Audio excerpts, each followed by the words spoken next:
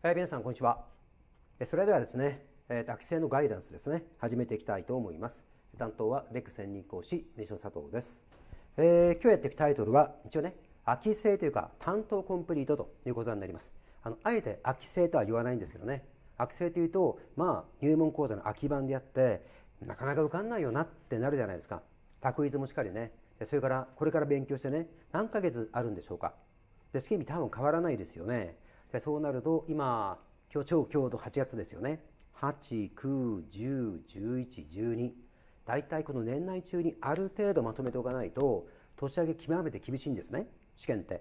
で5ヶ月しかないですね。そしてその後ですよね。うんとえっ、とあと1234で5月になると入りますんで9ヶ月ちょっとしかないわけですよ。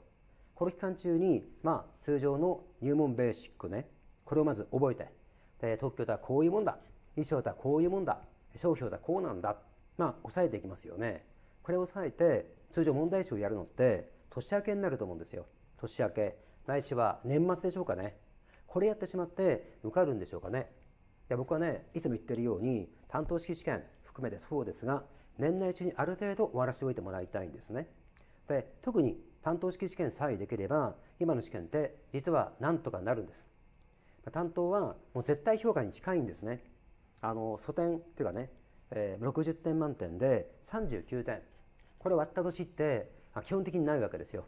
だから基準点と言ってるんだけどほぼ最低点って形で動いておりますんで、まあ、これは絶対評価になりますよね。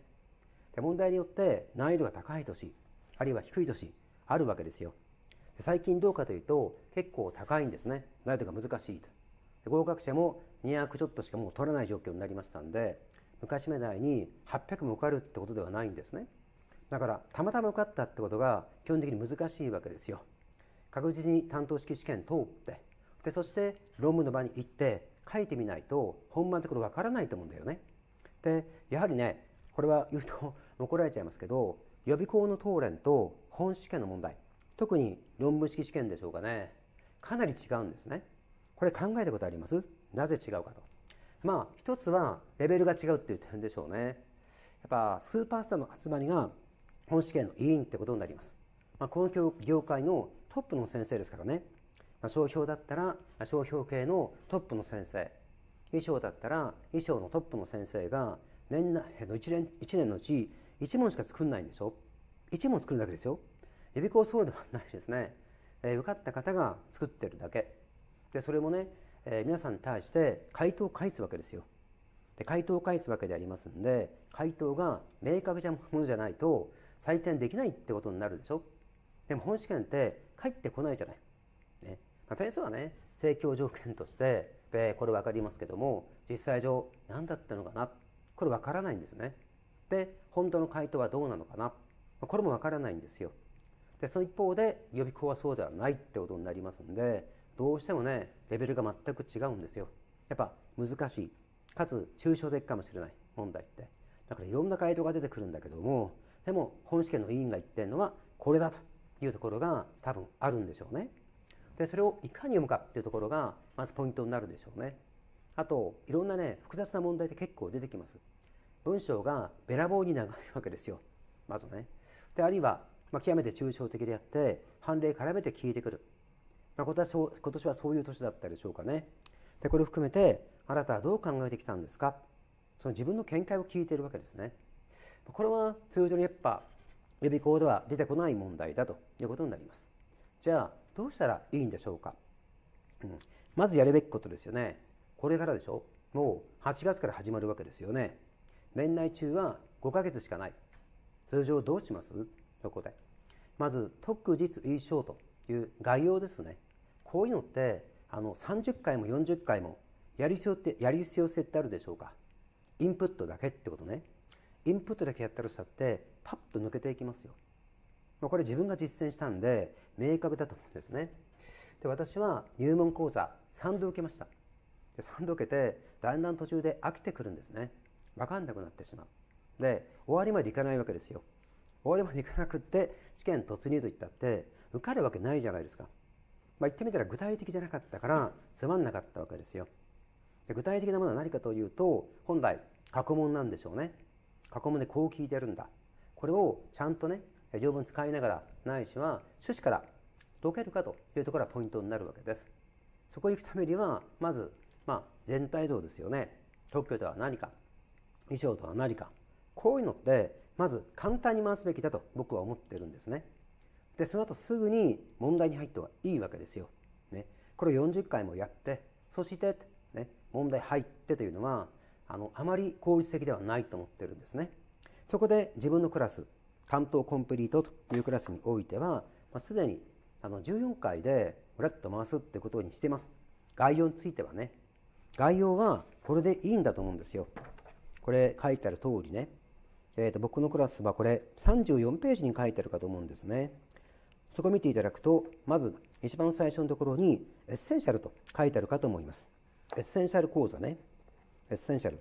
言葉通りエッセンスだけまとめましたという講座になります。すでにこれ通信取っておりますんで、えー、パッと、まあねえー、申し込まれるとすぐ14回っていけると思うのね。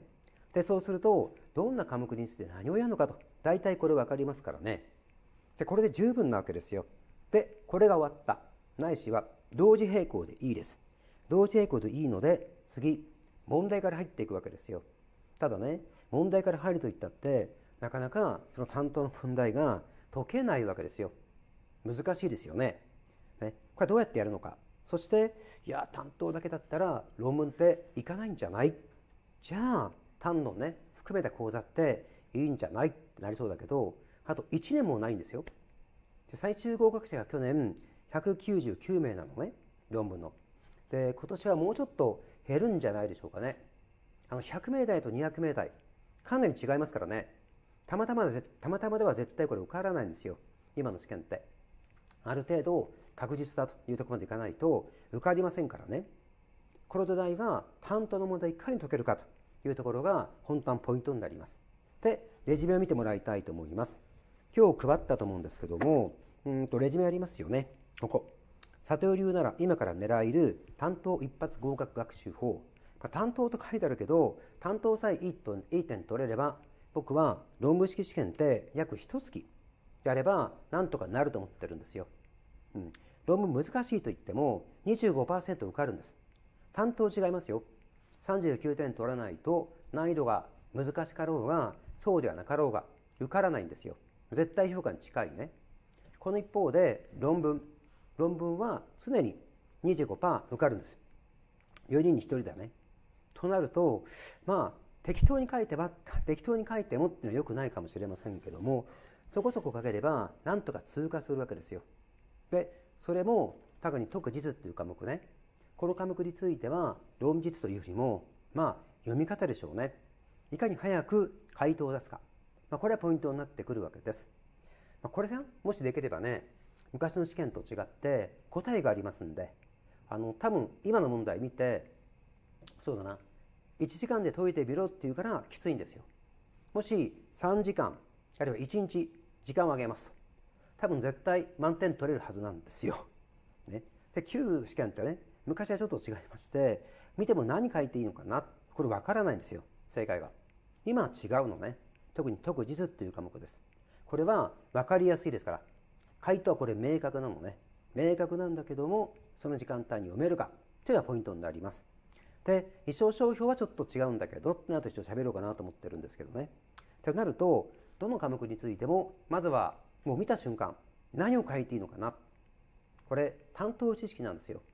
で担当知識と極めて連関性が高いんだよね。だから担当さえなんとかなるならばうまく言えば論文は一月まあ書く順番とかね。あの覚えることってあるわけですよ。論文独特のところだね。でもそんなにありません。これさえやってしまったら受かるってことが一月でこれは体現できるんです、まあ、これは聞いてください。後で、えー、担当通過した。じゃあ何をするのか。結構秋の講座の方っていらっしゃるのね。これを受ける方はね。いらっしゃいまして。私は担当しかやっていない。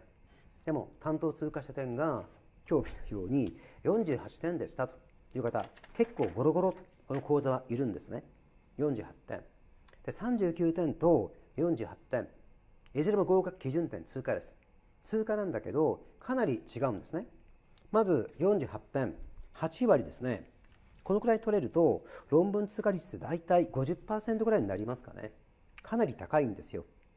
まあそれは先ほど言ったように現在の試験って担当と論文がかなり接近化してるからなんだよね。これが約7割。42、3って話になると20%ぐらいになりますかね。結構ガッと下がります。ここに壁があるわけですよ。でそして39点前後って話になると10%未満ですね。まずなかなか難しい。受かる方はいるんですよ。10%ですから。でもなかなか難しい。ということになるわけです、まあ、できればこの上の方で受かってもらいたいですね、まあ、そうすると担当を勉強すれば論文一月間ある程度僕言った通りやれば受かりますんで。論文試験ってね。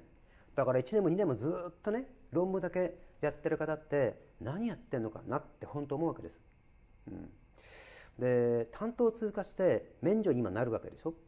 論文だけで1年2年って通常かからないと思うんだよね。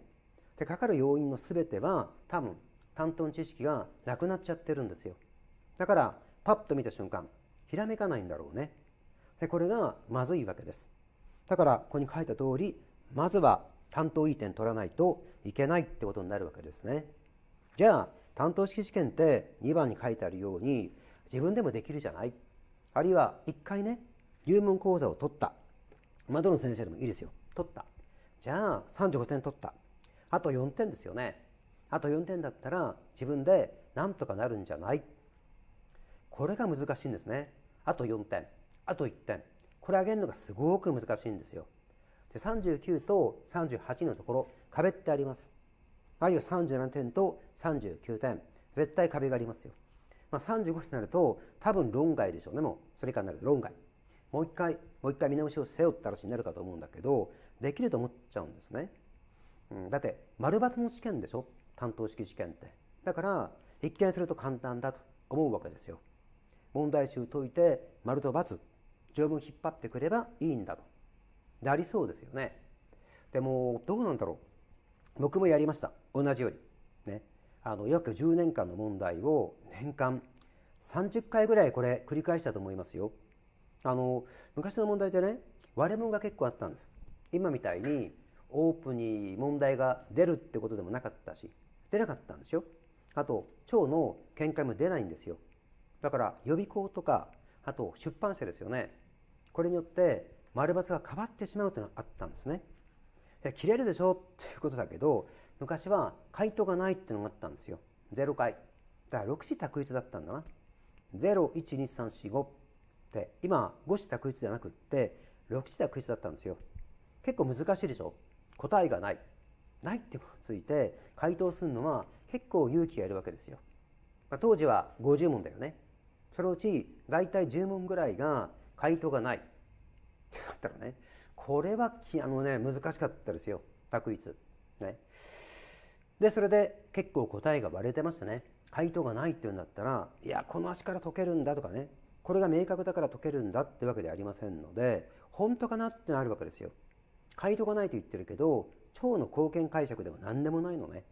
貢献回答で回答でもありませんで単に予備校が作っただけという回答なんですね。でそこでこれは妥当なのかな？これやっぱしいろんな予備校が出している問題集買ってくるしかないですよね。あるいは出版社の問題集を買ってきて調べるわけですよ。この手の問題は割れてると。じゃあ割れ物だった場合についてどっちを正解しにしようかとよくゼミで議論していました。担当だけやっていたというのもあるのね。そこだけやっていて割れ物ってね結構あったんですよ。これずっとね勉強したりしてたのね。でそういうこともあったんで問題集は4種類から5種類あるわけですよ。これを10年分何回も回してますんでおのずから30回40回ってなるんだよね。でそこまで回してるんだから受かるでしょって思うでしょ。で皆さん40回回してる人っています？年間。10年分ですよ。多分いないと思うんだよね、うん、だけど僕は受からなかった。全然ダメだったんですね。でおそらくそういう悩みを抱えてるのかなと思うんですよ。あと数点足りない。ないしは全くもう全然足に走りも棒にもかかんない。という方もいらっしゃるでしょう。あとこれからだという人もいると思うんですよ。で所詮丸抜であって自分はできるからって思って取り組むわけですよ。で僕もその口だったんですね。できるかなと思っていたわけですよ。で30回40回繰り返し繰り返しました。だけどあの全然3年間連続で落ちましたからね。担当式試験ね、うん。まあ、しか最初のはね仕方がないとして3年目さすがに受かるかなと思うわけですよ。だけどダメだったんですね、まあ、それはちゃんと知識が融合的に動いてなかったんだと後で気づいたんですけどね。これどんなことでしょうかね、うん、あの担当ってあのまず考えてもらいたい。必ず回答ってありますよね。丸とか×とか。で皆さんどうやってこれ解いてるのかな？でまずまず問題文読みますよね。問題文読んであのテーマだって気づくじゃないですか、まあ、それを先生が気づかない人は多分勉強足りないんですね。テーマはこれだと分かるわけですよ。でテーマの中のもうこれが単元だ。多分そのくらいまでは過去問集やるならばキュッと絞ることは可能になります、ね、論文は同じだからね。じゃあこのテーマのこの単元をやってるんだ。これを聞いてるんだ。なんとなく分かりますよね。だけどちょっと違うことが書いてあったりするわけね。でそこに気づくかというところが担当の丸ないしは×そこをね切る、まあ、ポイントになるわけですよ、うん、でよくそのその問題文見てでまた考えるわけですよ。なぜ少し変形して聞いてきたのかな。何をね惑わすように聞いてきたのかな。特許庁の思考に思考に頭を合わせるんですね。そして答え決まってるじゃないですか。丸とか×とか。で皆さんどうやって解いてるのかな？でもちろん条文から解くんだ。これは間違いではないです。法律の世界って許容性という観点がありますので条文、まあ、審査基準に書いてあるからこれは丸なんだという回答ね。でもそれだったら確かにこの方が言う通りですよ。ある程度担当式試験は35点ぐらい取ってるんだから自分でできますよ。できるじゃないですか。でも受からないんでしょ？じゃあなんで受からないんだろう？それはあの本試験の問題ってちょっと毎年変えてるからですよ。そこに気づかない。でさらに言うならば条文のね暗記って限界ってあるわけですよ。限界。限界ありましてね。あのどんなにできる方だってこれ間違えますよ。忘れちゃう。感化しちゃう。っていうのがあるわけね。できれば趣旨ってあるよね。何条何項何語の趣旨はってあるわけですよ。例えば新規性だったら新規性の趣旨、まあ、新規性の中の観光物コーチだったら観光物コーチの趣旨、ね。まあ、これを考えるわけですよ。でそこから解いていって本当に丸になるのか×になるのか考えるわけですよ。で序盤一番最後ね。見るのって。で趣旨から考える。で趣旨から考えることができるようになるならば多分ね1問解いて100問といけるんですよ。で皆さん1問言ってる多分解いてると思うのね。だから一問一答集って使ってるんじゃないの？あれダメだよ。一問一答集って1問から100問ぐらい解けなかったらいけないの。一問一答を見てそこで丸×って言ってもダメなのね。そこからどんな連関性があるかと。いろんなところにこれ応用していかなかったらいけないんですよ。僕口頭のゼミを結構やってますけどその時それ絶対聞くんでね。一問一答集をやります。こう書いてあります。特許はこう。じゃあ衣装どうなってる？で商標どうなってる？あるいは国際条約どうなってる？でなんで違うの？と、まあ、聞いてきます。でこれが分かるようになるとまあ全て連関性がありますんで解けるようになるわけですよ。頭が小さい脳になってくるんだという瞬間でしょうかね。これが分かったのが僕は4年目でした。ああつながってるんだよなっていう点です。であと1点パッと見た瞬間この文言からどんな派生する事項が浮かぶか。10個 ,10 個ぐらいパッと浮かぶんですね。これが早期できないとやはり担当式試験はいい点数は取れないんですよ。多分ねこの8割ぐらい取ってる方の頭ってある問題見ると10パターンぐらいこれ浮かぶわけなんですよ。あこういうパターンってあったよな。で普通の人って浮かばないんですよ。1パターン。一問一答パターンだよね。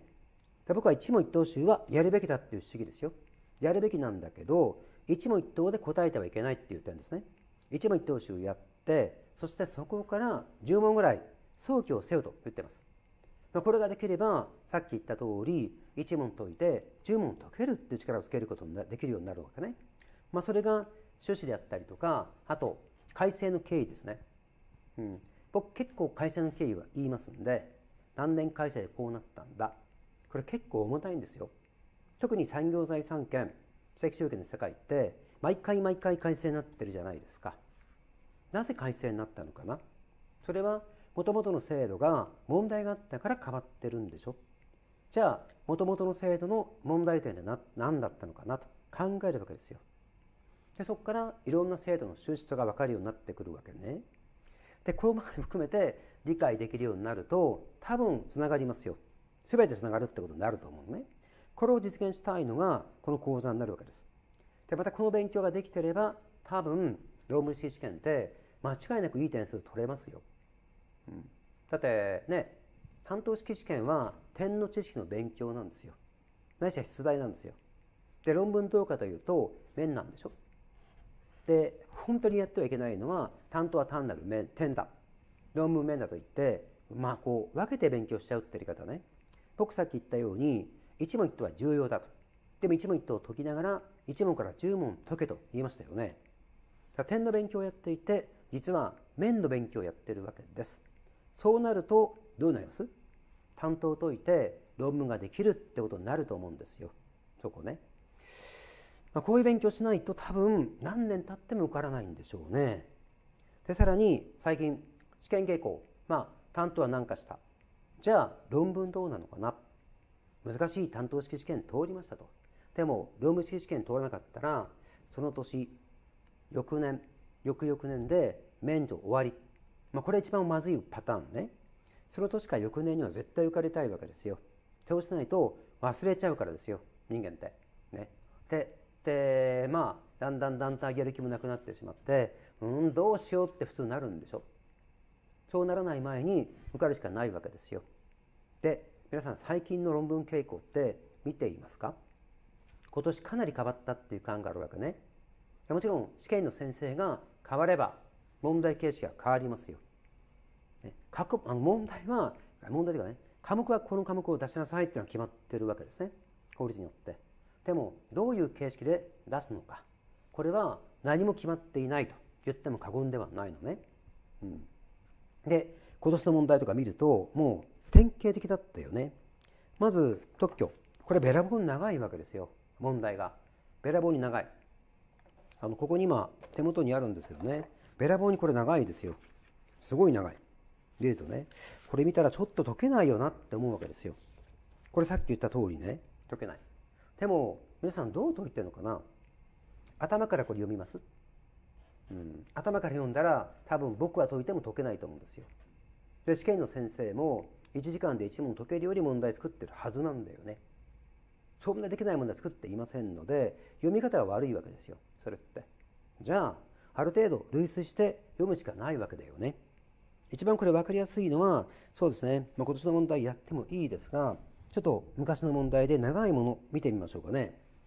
また、これは商標なんですけど、商標の平成21年っていうこれ問題があるわけです。これね。か、図案が入っていて、あーって長いわけですよ。一見するとね。上からずっと問題書いてあって、ずっと問題で、そしてここまで書いてあって、ここから設問なんだよね。設問括弧1、丸1、あと丸2、丸3、設問括弧1、そして設問括弧2設問括弧3にこれ分かれてるんですね、うん、で普通どっから読みます？通常これ上から読むと思うんだよね。ここから読んでは実はいけません。で読んでしまうと通常時間がかかるからですよ。じゃあどう読む？通常問いから読むわけですよ。問いから読んである程度これ問題早期をしなければいけないんだけど早期できるためには担当がいい点取れないと早期できないんだよね。ちょっと見ていきましょうか。説問括弧1こう書いてある。兵は一商標との関係で指定商品焼酎梅酒果実酒について同商標に対同商標にかかる登録に対し無効審判の請求を考えていると書いてあるので兵は無効審判請求人ってことになりますよね。無効審判請求人ここね。で次だよね。項が同商標について不正競争の目的で登録を受けた場合。項が商標権者なんでしょ。でそして不正競争の目的で設定登録を受けましたと言ってるんでこれ何号聞いてるのかな。おそらく。パッと浮かぶようになるといいんですけど。4条関係で主観的要件を聞いてるのって4条1項19号19号ぐらいしかないんじゃないの。あそこは不正の目的でと言って不正強制広いんだよねまあ、商品関係通っていないからだってなると思うのね。でこれまでパーッとまず浮かぶかですよね。そしてこれを確実にするのがこの後なんでしょう。不正競争の目的で取り受けた場合、どのような無効理由で請求することができるか説明せよ。多分41項19号だよな。なお書き。なお、41項7号。一般則だよね。これは考慮しなくても良いって書いてあるんだけど、これ両立することがあるからでしょ？うん。41項7号と両立するようなところって何だったかなというと、40項19号。歴史をしたら多分解けますよ。だから変遷が実は重要だと僕は言ってるわけね。歴史的な変遷ですよね。19号は平成8年改正にできました。それまではこのような状況については一般則7号で資料をやっていたんだっていうところがあるわけね。で、それは抽象的なんで作ったのが41号、19号だって普通習うわけですよ。となると、そこは考えなくても良いと言ってるんでしょ。ああ、やっぱし19号だったんだよなってこれによって解きます。まずね。19号が想定となったんだ。1番ね。で、無効審判請求事案なんだ。兵がえー、無効審判請求人で利害関係人なんだってこれによって分かるわけでしょなんか利害関係があるんでしょうね。でここが商標権者。おそらく41項19号の歌詞があって、まあ、商標権の設定努力になってるんだと。ここから推論できますよね。まだ読んでないですよ。次2番目。兵はこれ無効審判請求人だね。項の、えー、派商標の使用に関しの商標にかかる、えー、登録に対し上記丸1の審判以外にどのような審判を請求することができるか説明せよ。無効審判請求以外に使用との関係でどんな審判請求できますかって聞いてるんで多分取り消し審判だよね。不使用取り消し審判か不正使用取り消し審判かなってなるわけですよ。そんなことかなってことだよね。そして丸3でしょ？丸3。兵はロシ商標にかかる登録に対し上記丸1及び丸2の審判以外にどのような審判請求をすることができるか説明せよ。おそらくそうなると2番のところが取り消し審判権の中の不使用と不正使用これ分けるんでしょうね。でもし2番が不使用取り消し審判だと言うんだったら丸3は不正使用取り消し審判だと書いていくんでしょうねおそらく。というのは答案構成でしょうね。まず浮かばないところダメですよ。そして説問括弧によく見るわけですよ。設問括弧1において、兵が請求する各審判について、えー、いわゆる無効審判、不使用取り消し審判、不正使用取り消し審判ですね。確定した、えー、請求成立審決の効果、まあ、請求任用審決の効果だよね。まあ、それぞれ説明書と言ってるんだから、効果は違いますよね。無効審判だったら絶対訴求。設定トルクの時から消えちゃいますよね。帳票権って。で、不使用取り消し審判は、不使用取り消し審判を請求しましたと。で、予告登録ってされるんでしょそこから消えちゃいますね。確定後消えるわけではない。で、これに対して、不正使用取り消し審判は違いましたよね。うん。審決確定後消えていく。将来校審決だって普通習うわけですよ。この効果をそれぞれ説明するんだよね。あ、やっぱこれなんだと。で、さらに、項が提起した侵害訴訟に関し、これは訴えを提起したんだな。多分、兵に対して。だから、兵は利害関係人ってことになるんでしょ。いずれが兵にとって有利か述べよと言ってるね。で、侵害訴訟と書いてありますんで、差し止め請求、損害賠償請求、ともにってことになるんでしょじゃあこの場合なんだけど、どれが一番効果強いでしょうかね。二つともあるのね、訴訟って。無効審判一番強いよね。権利訴求消滅になる。で、もちろん差し止め請求は任用されないしね。で、損害賠償請求についても商標権ってものはなくなりますんで、全く損害賠償請求は許容されないってことになりますよね。で、次、不使用取消審判は、請求入審決になった。で差し止め請求は任用されません。じゃあ、損害賠償請求はどうだろうか。一部訴求して商標権消えちゃうんでしょ。予告登録の時から消えちゃいますね。まあ、設定登録から予告登録までの間の、まあ、商標権しかないって話になりますんで、その間の、まあ、損害賠償しかできないって話になるよね。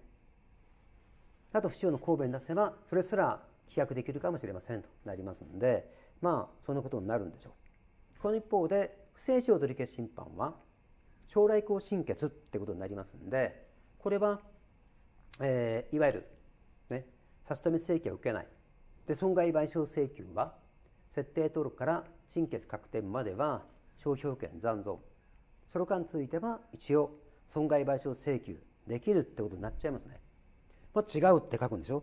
で一番いいのは何で何で？どれがもとって有利かと言ってるんで一番有利なのは無効審判だってことを書きそうでね。検討した後でね。で設問3ですよ。設問括弧1に兵が請求しうる各審判について商標法上指定商品または指定義務ごとにその請求を取り下げることができるか否か書けでしょ。無効審判できましたよね。で不使用取消審判は56条2項の反対解釈だと、まあ、よく言いますよ。ですよね。反対解釈でできませんでした。でそもそもあと不正使取消審判は商標権全体に対して審判請求しますんで商品単位で取り下げはできないということになります。あこれやっぱ聞いていたんだよなってことがこれによって明確に分かりましたよね。これが設問括弧3まで。で回答が出たわけですよ。これを見た上で問題文を見て解いていくんですね。ロとは何？意とは何？あるいはこうとはどんな方？兵とは何って見ていくわけです。今言ったようなことが多分出てきますよ。でこう読んで普通解くわけですよ。今年もそう解けばよかったわけね。特に特許。文章長いですからなかなか回答が出ない。それは読み方が悪いわけですよ、ね、あと特許についてもしばらくね出てなかった独占的通常実験と損害賠償という問題が出たんだよね。これについて論ぜよと聞きました。論じるわけです。で論じるわけだから論点バチッと解かないといけないよね。適当に書いてはこれはいけないわけです、まあ、通常は損害が発生し損害賠償許容と書いていけば足りちゃうんですけども論じるんだからそもそも何から書いていくんでしょうかね。所在ってあるわけですよ。なぜ論点になるか。なぜ聞いてきたか。これを本来は担当でもやるべきなのね。一個一個。あるんでしょ？独占的通常実験は債権である。で債権って契約当事者しか主張できない。相対的な権能だよね。じゃあ今新会社って契約関係あるんだろうか？ないじゃないですか。じゃあ請求できるのかなってまず疑念が湧きますよね。でまずこれを書かなきゃいけない。でそして独占的通常実験について、えー、侵害したとしましょう。この場合ってどんな損害って発生するんだろうか？で損害賠償は損害ないところには請求できませんからね。何をもって損害とするんだろうか？この2つですよね。これをちゃんとかけて最後をまとめるということができないと関東ではないって話になります。関東ではないってことね。でさらに次衣装だよね。衣装今年の衣装はかなり難しいのを聞いてきましたよね、うん、例えば括弧2ここね。えーと、衣装の類似に関し以下の問いに答えよ。で括弧2登録衣装とそれ以外の衣装の類判断は衣装法上のよう,、ね、のようなものの資格を通じて起こさせる美化に基づいて行うと規定されてかされているかを述べ24条2項だよね。事業者と書いてあります。さらにそのように規定された趣旨。なぜ事業者っていう趣旨になったのかな。下記の最高裁判決に言及しつつ簡潔に説明せよって書いてあるよね、うん、特にこれポイントは下記の最高裁判決に言及しつつしろと言ってるわけですよ。これ感化した人が多いしあと誤解してる方が結構いらっしゃるわけですよ。よく書いてある答案ってこうですね。衣装はいろんな見解があると。物品混同説創作説常説ね。これによって領じる判断権者は違ってくるんだ。そこでと。統一性を持たせるために24条2項を書いた。妥当ですかね？多分違うと思いますよそれ、うん、確かに前段は正しい。いろんな見解があります。領じる判断基準は違うわけですよ。しかしえーと、これ加藤数という事件。昭和49年の判決において判決文めっちゃ出ちゃったよね。判断権者は誰でしょうかと。判断権者は書いてある通りここ。一般事業者って書いてあるわけですよ。一般事業者。これ実はこれによって決まりでしょ。一般事業者と書いてあるんだから。でその後問題って生まれたわけですよ。これ49年だよね。で24条2項ができたのは何年？平成18年。これそうこの判決が出たら通常これで決まり。でも問題があったわけですよ。問題があって下級審で争下級審では違う見解がたくさん出てしまったのね。だから問い責め立てたんだ。なぜ違う見解出ちゃったのかな。最高裁の判決文があるならば実は通常これで決まりでしょ。でも決まりではなかった。これ判決文書いた先生が言い出したんだよね。一般乗車と書いてある。通常これって物品混同説なんですよ、うん、で物品混同説だ。一緒のね根拠規定はという方がいらっしゃるわけですよ。これから見てもそうね。でも違うと。僕は言っていない。よく見るわけですよ。これ見るとどう書いてある？一般乗車に対して登録衣装と衣装の美観を消費される衣装にも英文とされているところから右のような物品の衣装について一般乗車の立場から見た美観の類比。美観の類比という抽象抽象的な言葉を使っているだけであってコンドル有無と言っているわけではないんですよ。混同前提として処理をしましょうと言ってるわけではないんだよね。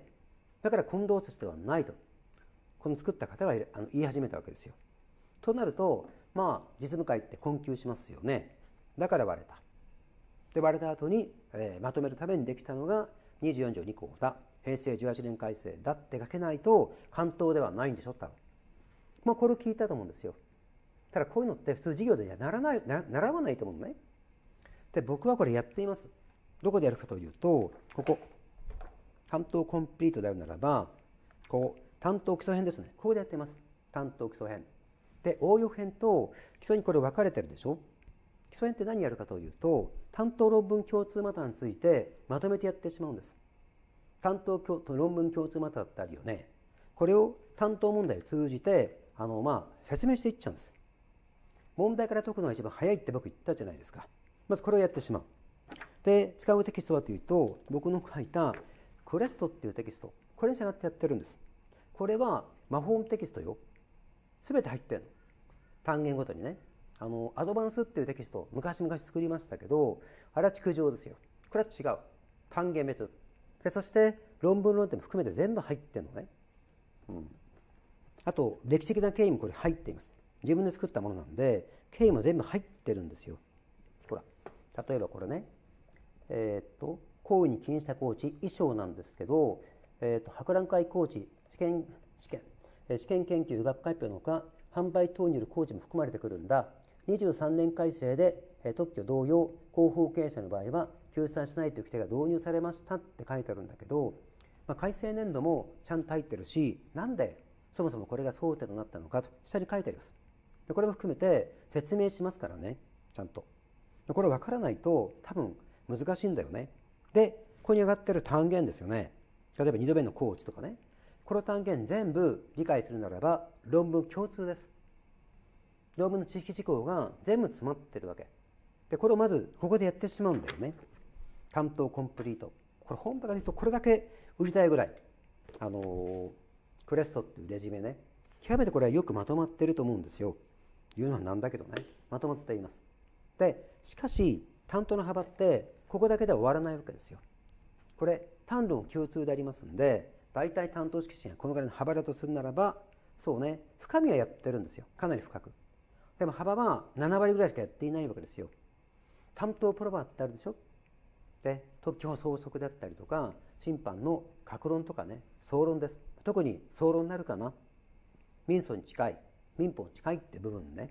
ここはあのこっち応用編ってところで説明しますよ。細かくねあるいはこの担当規制で終わらなかったところねこれ結構含まれてますんでこれ通常春製であるならば論基礎ってところでもう一回論点チックに説明してるんですね。論文ではこう聞いてくるよ。論点これなんだよね、まあ、さっき言った独占2っていう論点ね。これも書き方があるわけです。A という見解 B という見解があって私はこう書くとかねあるわけですよ、ね、でこれも含めて全部入ってるのねこの中に。単論共通で。で、まあ、通常一般的な判例試験でる判例も全部入っています。これだけやったらもう完璧なわけですよ。ただし担当の幅は全部やってるわけではないのでもう一回ここでやるわけですよ。これ。応用知識編。もう一回繰り返しをします。でさらにここでこれを使って今年はやろうかなと思っていまして再度ね。特にあの論点チックなところ。これ論文の講座が入っているわけではないでしょ？論文的にはこれが問題となるんだ。一緒に持ってきてもらいたいのです、ね、であのこの応用編は通常どの先生も使っているようなアドバンス。今から二十数年前に作りました。私がね、えー、まあ条文パイで並んでるこれものなんですけど築城ですよね、まあ、築城は潰すのはいい。ただしやりにくいんですよ。築城って。一番最初にやる方はね。だからうまくできてるわけ。まず、えー、この短答コンプリートっていう講座はエッセンシャルで概要を見ていきましょう。と区日言ってこんな科目になると。概要だけ見るわけですよ。でも結構これ難しいからね。でこれについてまあ IC にこれ収めてもらいたいんです。収めて録音してもらいたいの。私的使用の複製だから著作権侵害にならないよね。でこれをくるくる回してもらいたいわけです、社会人でしょ。大多数の方って。今プロの多分受験生そんなにいないと思うんですね。昔もいませんでしたけど今もっといないと思うんですよ。で時間がない。時間がなくてやってるわけですよ。でくるくるくるくると頭をこれ回してもらいたいわけですよ。これを聞きながら。最初はこれでいいわけですよ。ああこんなことが特許っていうことになってるんだよな。概要さえ分かったらこれはいいです。まずね。で終わりましたと。で次。このクレスを使った、えー、まあ、講座ですね。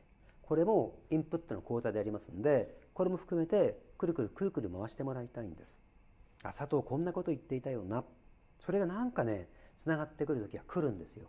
それ、うん、僕ねいろんなことを含めて喋ってるからね。多面的に。特許はこう遺書はこう商標こう条約はこうなんで違うかってことまで含めて喋ってるつもりです。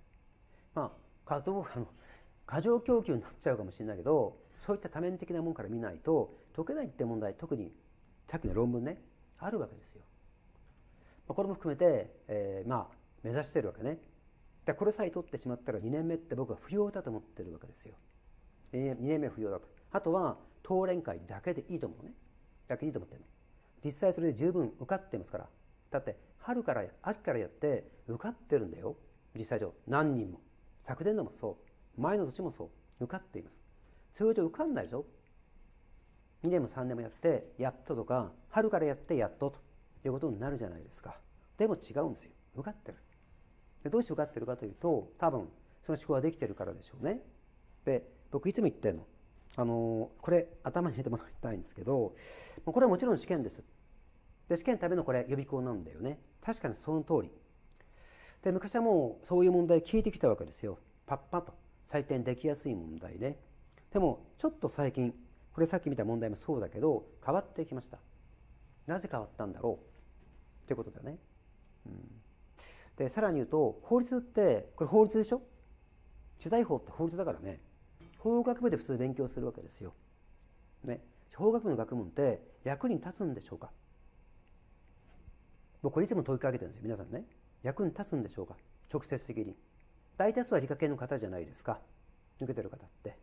理科系の勉強って即社会で役に立ったでしょ？工学部を出ました。大学院来ました。即研究室で役に立った。ってあるじゃないですか。でも法律学って役に立ちますかね？役に立ちますかね？いや僕は一応役に立ってると思うんですよ。こんな仕事をやってるんで、まあ、役に立ったのかなと思うんだけど大多数はこういう仕事はやっていないわけですよ。僕のね、えー、学校ね大学ねはああの特に昔僕入った頃ってほぼ大体皆さん受けるんですよ試験って。出生試験かな？受けるわけ。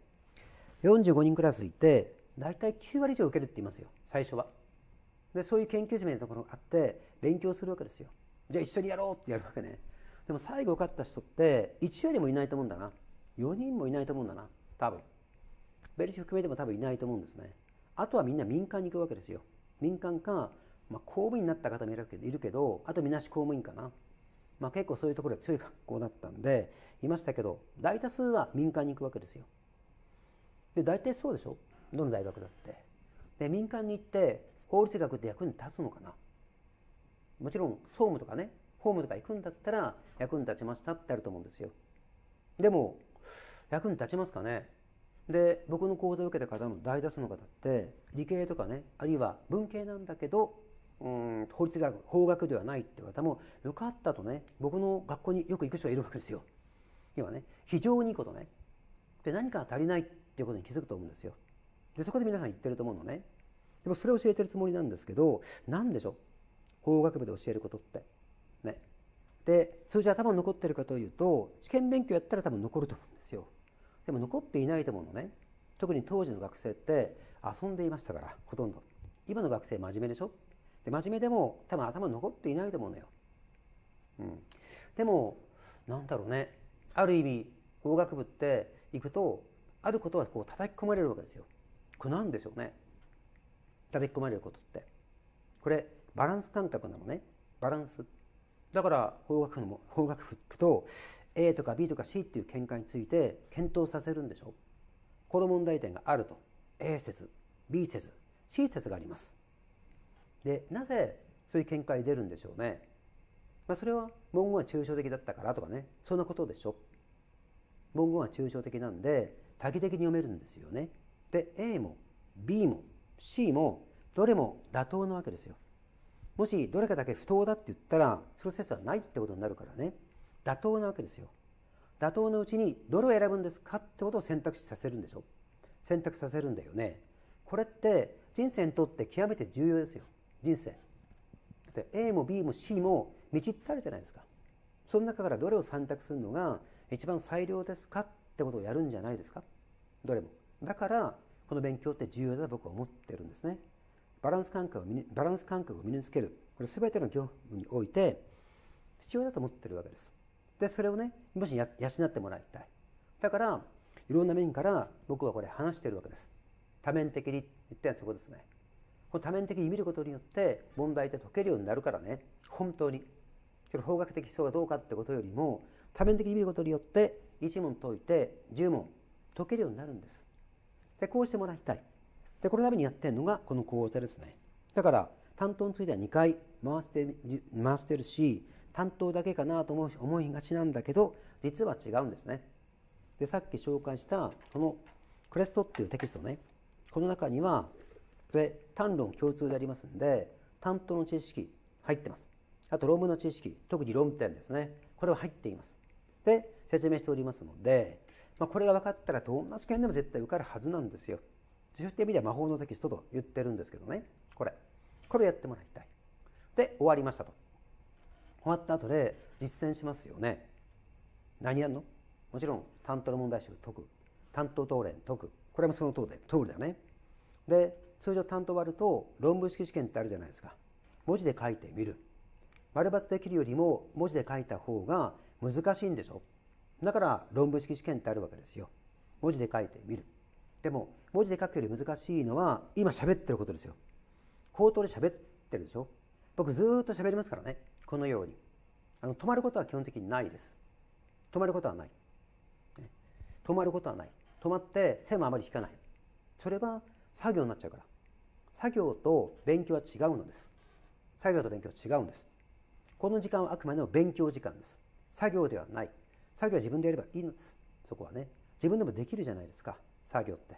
線引いたりとかあとね、えー、なんだろう。時間調整したりとかこれ作業の問題でしょ。自分でできるはずですよ。この資格を受けようと思ってるんだから。それよりもやるべきことは何かというとなぜそうなったのかっていうところです。これ書いてないんだな。なぜかというと時代法の勉強ってまだ学祭が浅いんですよ。30年から40年しか経っておりませんので学祭が浅いので本があまりないんですよ。でこれどこでやるかというと自分で考えた見解がありますんでこれを共有してもらいたい。過去何十年もやってますんでそこは一応過去歴含めて共有されてるはずなんですよ頭の中に。僕はね。でこう解いてるんだ。これを共有してもらいたい。そうすれば1問解いて多分1問解いて10問っていきますよ。で10問解けるようになれば100問いくということになりますんでそれをね実践してもらいたい。で最後のところでこれやるのが応答するゼミですね。総仕上げのゼミと書いてありますけどここでやるのは応答です。本当に分かってんのかなって聞いていきます。皆さんに対して。でいろんなことを言うよね。でバテそうですかって聞いていきます。この繰り返し。これが一番勉強にとっては最良の勉最良の勉強なんですよ。ずっと通して学んでいきましょう。ないしはレスポンスをしましょう。これ極めて重要じゃないですか、ね、これ最後あの仕上げた形でやってまいります。ね、で最後は、まあ、これが終われば、ね、担当式試験を受けていい点多分取れるんだよね。そして聞いてください。まあ、ここまでここまでやったんだ。点数こうだったんだ。じゃあ、労務式試験って最後何をやるんでしょうか。これ、具体的指示ます指示を指示をしますから。これとこれについてやればよい。一月でいけます。マジで。一月です。これ実践してやってまいりましょう。でそういった意味では、この講座、お得なんですよ。結構ね。担当特化しているように見えるけど、悪性ではない。題名も、担当コンプリートと言ってるじゃないですか。担当はコンプリートします。コンプリートと言って39点ではなくて、48以上取るってことを目標にしています。これができるんだったら間違いなく、労務式試験、まあ、もう姿が見えたって話になるんでね。姿が見えたら、まあ、あとは一生懸命マラソンでも走っていきますよね。もうやるだけっていうだけです。あとは一週一月、一週間言った一月の間、僕が言った通り、労務の勉強をやってみてください。絶対受かりますんで、ね。まあ、そういったことでやってまいりますんで、これからですよね。今ちょうど8月の頭でありますんで、9月の真ん中に開講いたします。そこまでの間に、まあ、いろいろとね、検討してもらって、これでもいいんだぞということであるならば、えー、お申し込みをしていただきたいと思っています。で、またね、今こんな時期じゃないですか。生では来れない。で、これ、通信なんか書いてないんだよね。これ見ても。通信、どこにも書いていない。うん、じゃあ通信ないんでしょうか？記載が悪いよね。あります、通信って。これ、この生の講義を申し込むと、通信ってことになってるんですよ。あの、今、ネットで見えますんで、通信で見れるってことになってるんですよ。通信なくないんじゃなくって、生でやったものはこのまま通信流れるだけなので見れます。通信はいいですよ。時と時間を超えて、時と場所を変えて見れますから、大阪でもこんにちはですね。夜でもこんにちはということになりますんで、時間と場所を超えて勉強できるわけです。で深く学んでいきましょう。そうすることによってバランス感覚つける。これが一番あの、まあ、この資格を取った上で重要だっていうところでありますし、さらにこの後の展開ですよね。何をやるか分かりませんがね、これを契機にいろんなことを絶対やっていただきたいと思います。ね、ということでありますんで、ぜひ、もしね、このあの資格に興味のある方、あるいは、えー、このやり方に興味がある方はお申し込みいただければと思っております。では、えー、このガイダンスはこの辺で終わりたいと思います。お疲れ様でした。